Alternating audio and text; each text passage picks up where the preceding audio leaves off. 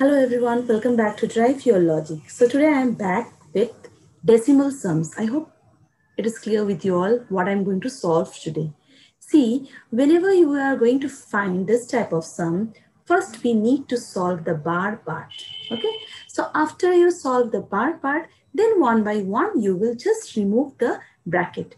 And I hope everybody knows which bracket is called what first bracket. This one is called the third bracket, okay? The square bracket is called the third bracket.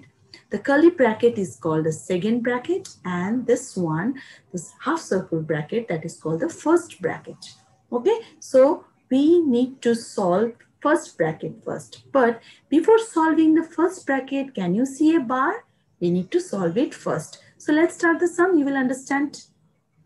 So you write the sum as it is, okay?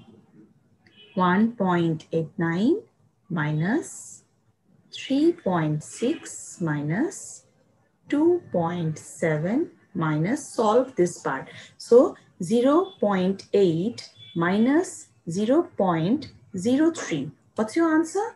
Just you can subtract and check. It will be 0 0.77. Clear? So the bar is complete. Put the bracket. Don't forget to give the bracket, okay? Then you write down 2.3 again and just line by line you write everything.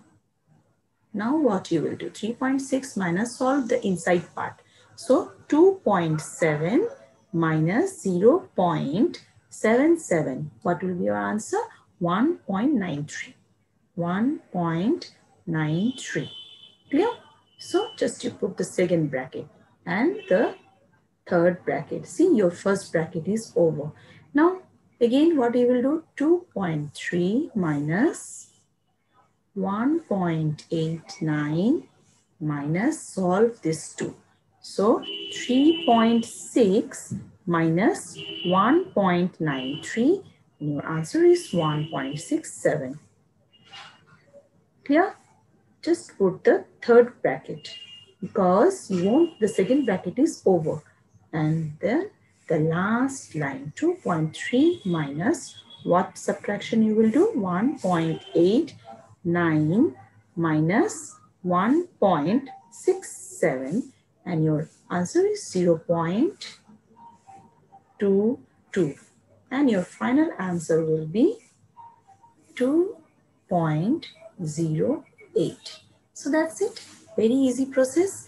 This type of sum it's very easy to do, but don't get nervous by seeing the sum. What you have to do. Step by step, if you follow, if you all follow step by step, you will never get nervous, okay? So the thing is, you need to follow the step first. The steps are very much necessary. And you need to understand one thing that bar must be solved first, then the first bracket, then second bracket, and then finally the third bracket, and then whatever is there. And if this type of sum can comes in this way also, you will get multiplication, division, minus, uh, subtraction, addition all together that time also you need to follow the rule that is the BODMAS rule. Okay, BODMAS rule. Just follow this rule and it is over and out. Very easy to do. Okay, so if you like my video, don't forget to give a like and subscribe my channel. Ta-da!